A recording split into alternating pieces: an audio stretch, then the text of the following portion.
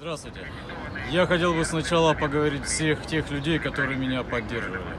Всех москвичей, которые приходили ко мне в одиночный пикет.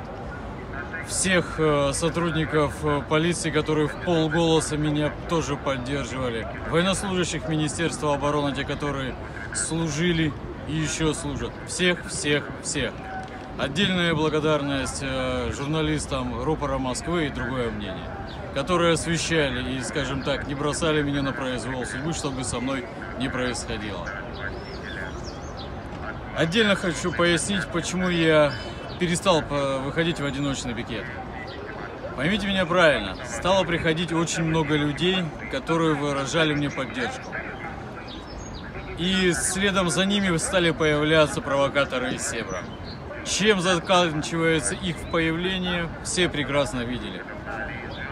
Я не посчитал, что не имею права подводить людей под полицейские дубинки. Потому что другого варианта развития событий просто бы не было. Ну и в конце, пользуясь случаем, хочу обратиться к государственным служащим, которые будут рассматривать мои вопросы, запросы народных депутатов.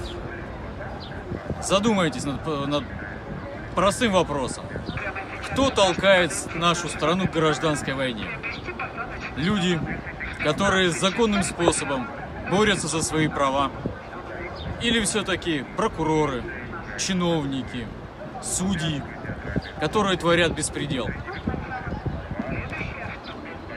Задумайтесь. Сначала задумайтесь над этим вопросом, дайте ответ, а потом уже принимайте решение.